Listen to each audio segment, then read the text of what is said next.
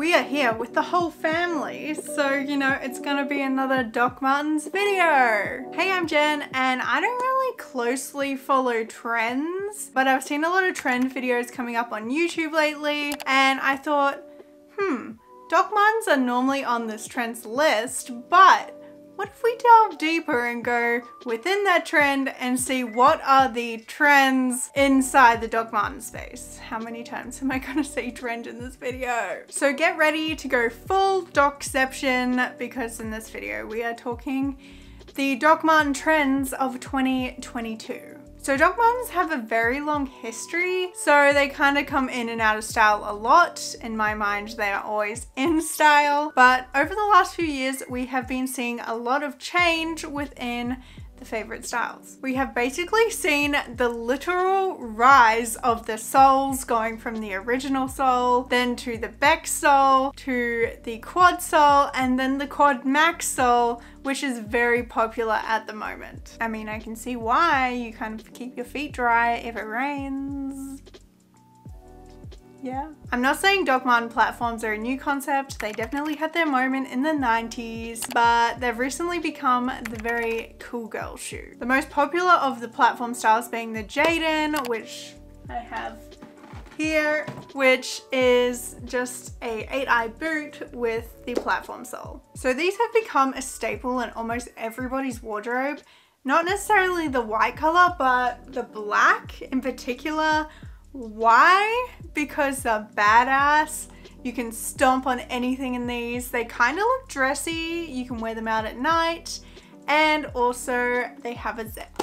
This is a game changer. Now, to be honest, I thought the zip was ugly at first. Um, I was like, why put a zip when you have laces? Especially on the white pair, I think they really missed the opportunity to just put a white zip pair. It's like, just doesn't match the boot at all. But I have learned to really love the zip. Purely because if you take me to a thrift store and I need to try something on, I will have those bad boys off within seconds, faster than you can say vintage. So these are a great style, they're not really going anywhere soon, but they're not super unique because literally everyone has them. This has then led to popularity in styles like the Sinclairs and the Jadon Maxes to give people a more unique, different kind of boot instead of having the Jadon. Now, if I didn't already have many Jadons, I would probably have the Sinclairs because they also have the zip option. It's just at the front of the boot.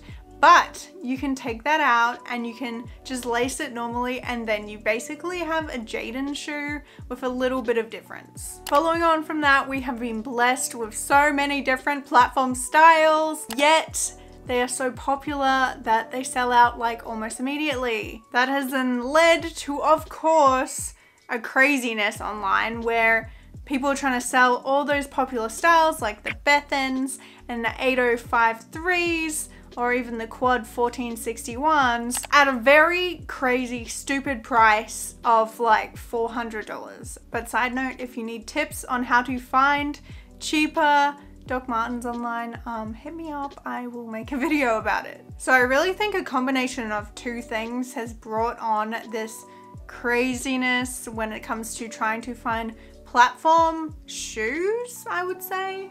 Kind of like this kind of style instead of a boot.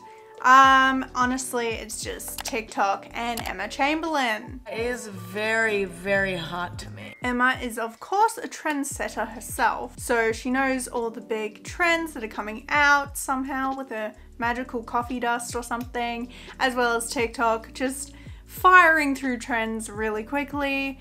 We are seeing a lot of like 90s inspired clothing and nostalgia, so obviously the platform docs are coming back in with new styles because they were popular in the 90s, like I said.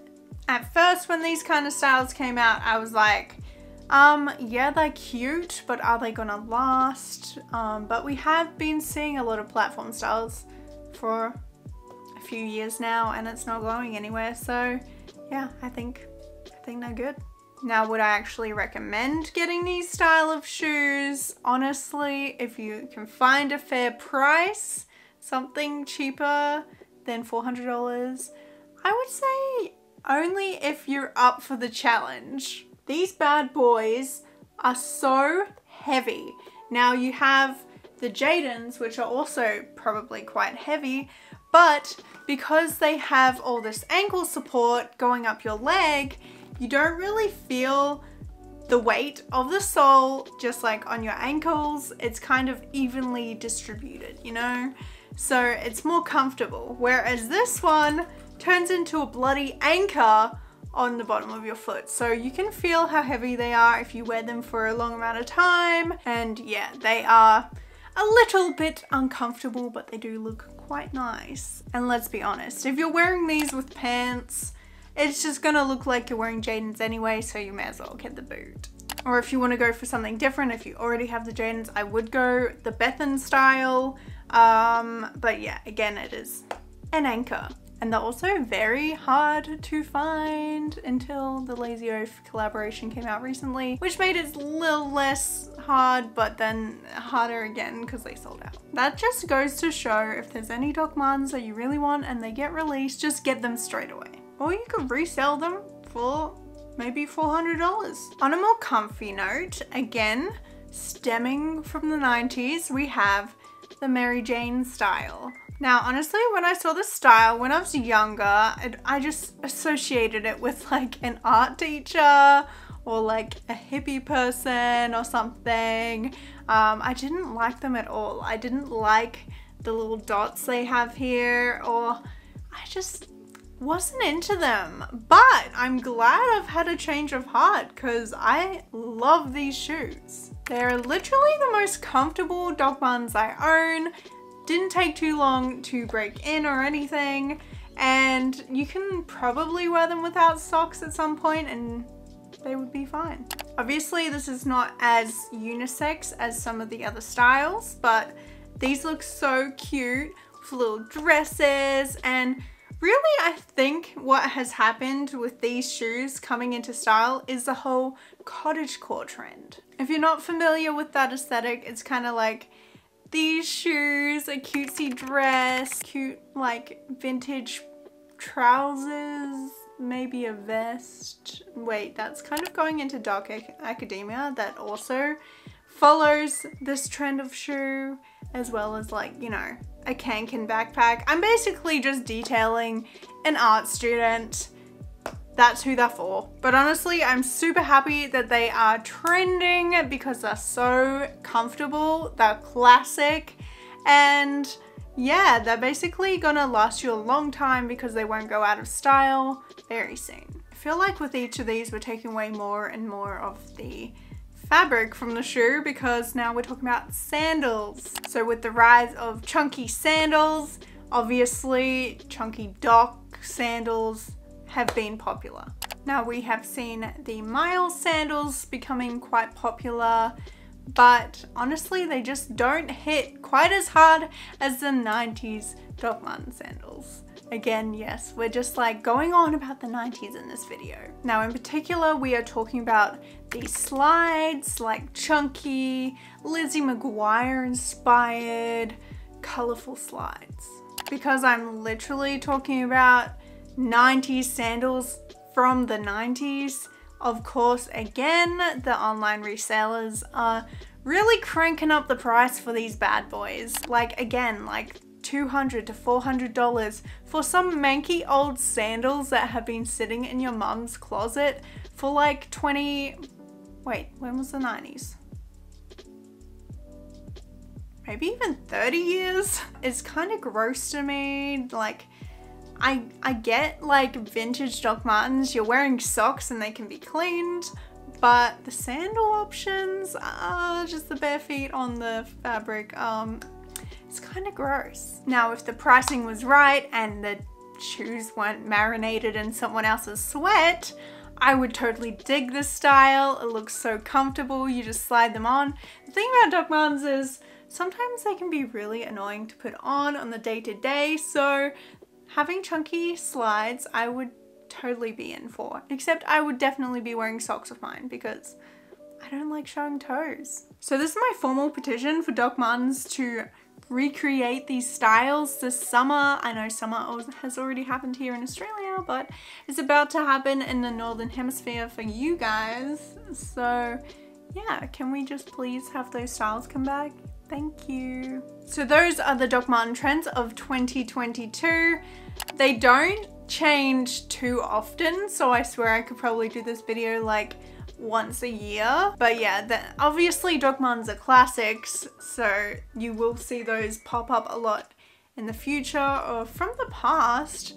Um, but as you saw, a lot of the styles are 90s inspired. So if you see any other kind of 90s cool Doc Martens that are different from the ones I mentioned, I would probably just snatch them up. And of course they're the trends for now, but what do I see in the future with Doc Martens? Well, obviously platforms are super big right now, they're awesome, but I honestly think people are gonna get bored of them soon and they're gonna opt for more of a classic style like the 1461s. And I'm not just saying this because I love them myself. My literal Instagram name for my Doc Martens Instagram is 1461, but that's just a coincidence. So I'm talking about this kind of style um, with the classic sole. And I'm saying this not just because I want to, but with the Mary Janes coming back, I can see more of classic styles coming in, as well as the rise of twee fashion. Um, yeah, we're gonna go more classy now instead of more grungy and 90s. So I'm really thinking it's gonna be the 1461s. So please do let me know when you start seeing all your favorite celebrities um, wearing 1461s. I have called it. That has been my trends video for 2022. My name is Jen.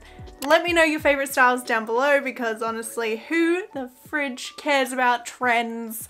Um, my Instagram's at in the Wander Years and until next time, keep wondering.